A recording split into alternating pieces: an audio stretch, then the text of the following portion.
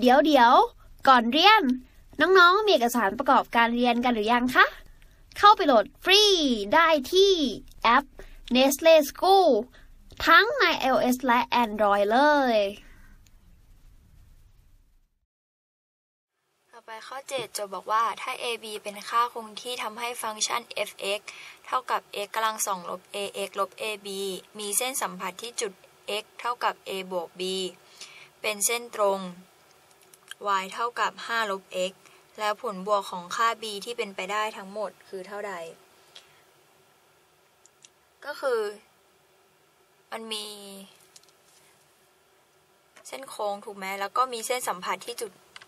a บวก b แล้วคือเส้นสัมผัสนั้นเนี่ย ก็เป็นเส้นตรง y เท่ากับ 5 ลบ x เพราะฉะนั้น y เท่ากับ 5 ลบ x เราดูเส้นตรงนะ y เท่ากับ 5 ลบ x ย้ายข้างก็เป็น x บวก y เท่ากับ 5 ถูกปะเพราะฉะนั้นความชันของเส้นตรง ก็จะมีค่าเท่ากับลบ1ถูกไหม ซึ่งสมการดิฟเส้นโค้งที่มีเส้นสัมผัสอะจะได้ f ดิฟอะจะได้เป็นความชัน ของเส้นตรงของเส้นตรงที่มาสัมผัสของเส้นสัมผัส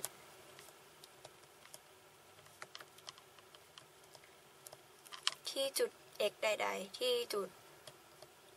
สัมผัส เพราะฉะนั้นถ้าเราแทน f dat ของ a บวก b เพราะเขาบอกว่าสัมผัสที่จุด a บวก b ถูกปะก็คือถ้าเราแทน x เป็น a บวก b ก็จะได้ความชันเป็นลบหนึ่งถูกไหมที่เราต้องดิฟสมการก่อน f(x) ก็จะเท่ากับ อันนี้คือที่เราได้มาถูกไหม อันนี้เก็บไว้ก่อนนะ ที่เราต้องดิฟสมการก่อน ก็จะได้ว่าเป็น 2x ลบ a ถูกปะแล้วเราก็ต้องแทน x เป็น a บวก b ก็จะได้ว่า 2 คูณกับ a บวก b ลบ a นี่ค่าเท่ากับลบ 1 ถูกไหมพอเรารู้ว่ามีค่าเท่ากับลบ 1 แล้วก็แทนค่าก็จะได้เป็น a บวก 2b เท่ากับลบ1ก็เลยได้ว่า a เท่ากับลบ1ลบ 2b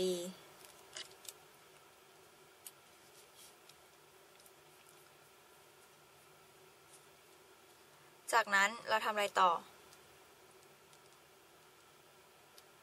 เขาบอกว่า ผลบวกของค่า b ที่เป็นไปได้ทั้งหมดถูกปะซึ่ง มันสัมผัสกันที่จุด a บวก b ถูกไหม ดังนั้นถ้าเราแทน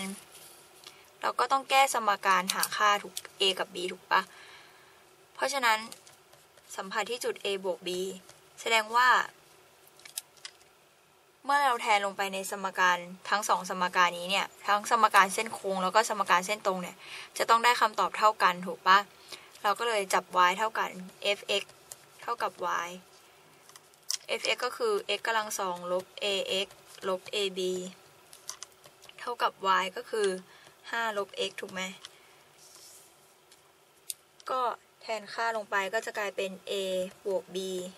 เพราะเขาบอกว่าสัมพันธ์ที่จุด x เท่ากับ a บวก b ถูกปะก็ต้องแทน x เท่ากับ a บวก b ลบ a คูณกับ a บวก b ลบ ab เท่ากับ 5 ลบกับ a บวก b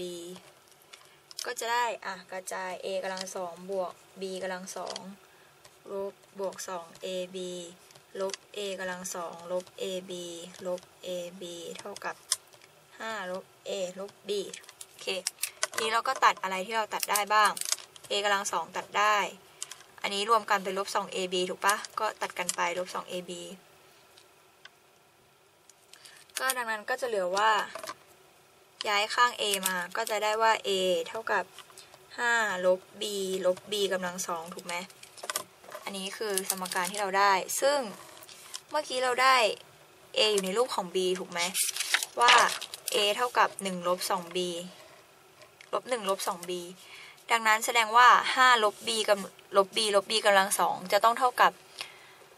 ลบหนึ่งลบบีเอ้ลบสองบีถูกไหม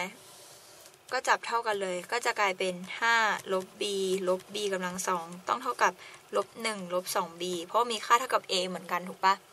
ย้ายข้างก็จะเป็น b กำลังสองลบ b ลบ 6 เท่ากับ 0 แล้วก็แยกตัวประกอบได้เป็น b ลบ 3 คูณกับ b บวก 2 เท่ากับ 0 ได้ว่า b เท่ากับ 3 แล้วก็เท่ากับลบ 2 เพราะฉะนั้นผลบวกเขาถามว่าผลบวกค่า b ที่เป็นไปได้ถูกไหมผลบวกของค่า b ที่เป็นไปได้ทั้งหมดคือ ก็จะเป็น 3 บวกกับลบ2ก็จะเท่ากับ 1 นั่นเอง เพราะฉะนั้นคำตอบในข้อนี้ก็คือ 1 โอเค อีกรอบหนึ่งนะ ก็คือสิ่งที่เราต้องรู้เนี่ยก็คือ ถ้าเราดิฟฟังก์ชันเส้นโค้งเนี่ย เราก็จะได้เป็นความชันของเส้นสัมผัสที่จุดสัมผัสนั้นๆ ที่เราแทน x ลงไป ซึ่งเขาบอกว่ามีจุดสัมผัสที่ x เท่ากับ a บวก b เราก็ดิฟสมการแล้วก็แทนลงไป ซึ่งเราได้ว่าสมการเส้นตรงเส้นสัมผัสเนี่ย มันมีความชันเป็นลบหนึ่งเราก็เลยแทน x บวกแทน a บวก b ลงไป เพื่อให้ความชันเนี่ยมันเท่ากับลบหนึ่งเราก็จะได้ว่า a เท่ากับลบหนึ่งลบสอง b จากนั้น เราก็ เอ่อ จับแทนสมการด้วย x เท่ากับ a บวก b ถูกไหม เพราะว่ามันสัมผัสกัน แสดงว่าเมื่อแทน x เท่ากับ a บวก b ลงไปในเส้นโค้งหรือว่าในเส้นตรงเนี่ย ก็จะต้องได้ค่า x เท่ากัน เราก็แทน x เท่ากับ a บวก b ลงไป ก็จะจัดรูปได้เป็น a เท่ากับ 5 ลบ b ลบ b กำลังสองนี้เราก็จับ a สองอันที่เราได้เนี่ยให้มันเท่ากัน เราก็จะแก้สมการหาค่า b ได้ ได้บ้าว่า b เนี่ยเท่ากับ 3 หรือไม่ก็ลบ 2 เพราะฉะนั้นผลบวกก็คือ3ลบ2ก็เท่ากับ 1 นั่นเอง เพราะฉะนั้นคำตอบในข้อนี้ก็คือ 1 ค่ะ เรียนจบแล้ว อย่าลืม เข้าไปฝึกทำข้อสอบแบบจับเวลา ในแอป Nestle School กันด้วยนะจ๊ะ ถ้าน้องๆมีคำถามสงสัย ไม่เข้าใจตรงไหน ถามว่าในแอปได้เลย แล้วพี่ๆจะรีบเข้าไปตอบให้นะคะ ที่มาอีกรอบหนึ่งเนาะ เอาให้คุณที่มาไว้ แล้วก็ตรงนั้นเราก็ทำถ้าเป็นเราจำไปเลยจำอย่างเดียวเลย ตอนที่เจออย่างเงี้ย มันก็จะนึกไม่ออกไงเพราะเราไม่รู้ที่มาที่ไปหรือว่าอยู่ในห้องสอบก็คือลืมก็ลืมไปเลยอย่างเงี้ย ทำได้หม ดถ้าสดชื่น